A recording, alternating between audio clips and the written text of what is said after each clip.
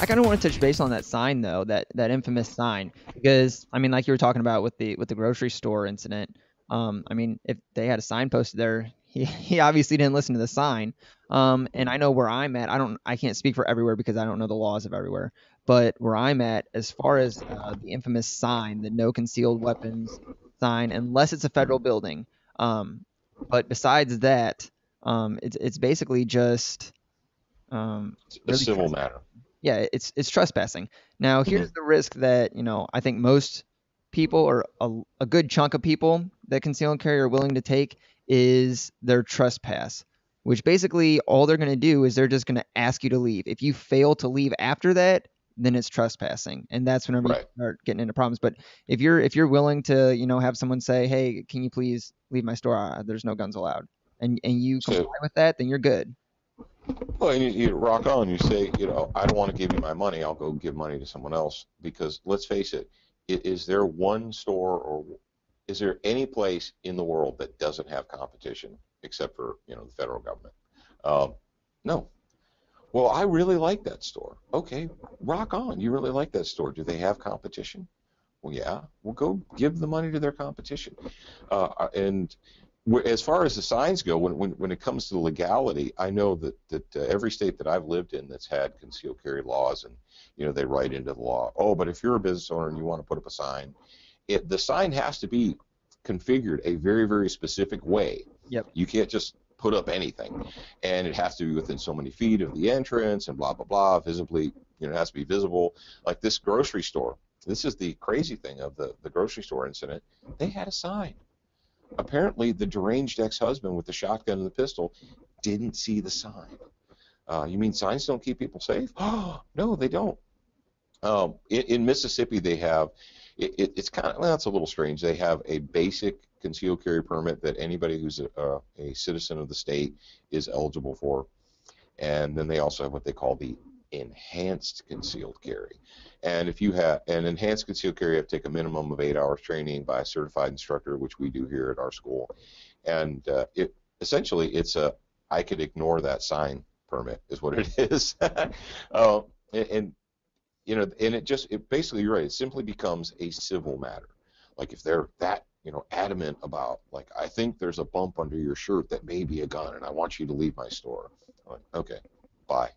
Uh, and the only places you can't go to are, you know, basically uh, law enforcement or federal secure areas inside of a courtroom in session, inside of a, you know, inside of the the prisoner area of a jail and so forth. I mean, you can even go to the pick, you know, uh, your local airport. You can go pick up your Uncle Fred from his business trip and have your gun on you, and as long as you don't try and enter the secure area of the airport, you're good to go uh, as far as the legal standpoint is concerned. So um, I like to say that I rarely see those signs, and I, I, was, I often chuckle because you know some of the businesses they don't want to put up the the ugly generic sign because it just it doesn't match the decor of the business. So they'll go out and they'll have a, a professional sign maker make like a shiny brass placard with a you know the picture of a gun and the no symbol around it and they'll just put that up and they think they're good now i laugh at them because like yeah i'm glad that you put that up there for, from a legal standpoint it holds no water it has no bearing uh, on criminality or lack of criminality it's just you know you- you're you're afraid of guns Yeah. sorry Yeah. Now, uh, let's backtrack a little bit uh, back to the Walmart incident. Um, you were saying that I, I guess he was taking it, you know, off and putting it back on when he was in the car or something like that, and, and they saw it. Yeah, that's well. That's the story. I read the story. Uh, I read a story on. Uh, I think it was on BearingArms.com. It, it's been all over the place, but Bearing Arms story I read, and apparently the guy got out of his out of his vehicle, was standing next to his vehicle, reached in, put it in his holster, covered it up, and proceeded to walk into the store. And that's where the guy saw him because they, the guy who tackled him admitted that he saw him in the parking lot and saw him had a, that he had a gun and followed him from the parking lot into the store, which is on so many levels so ridiculously stupid. It's like uh, number one. So you're in the parking lot with this guy where it's probably if you had to take down a, a legitimate bad guy, you'd probably want to do it away from all the innocent children and women and people. So Knucklehead waits until they're inside of the store where it's crowded, where there's lots of people around. Uh, you know, where there's, there's there's if you watch the video, there's like a little kid who walks through the security video. He thinks that will be the good time to get into a tussle with this dude. Yeah, at the Um, end of the video, did you actually see the the child that hid behind the uh, the trash can?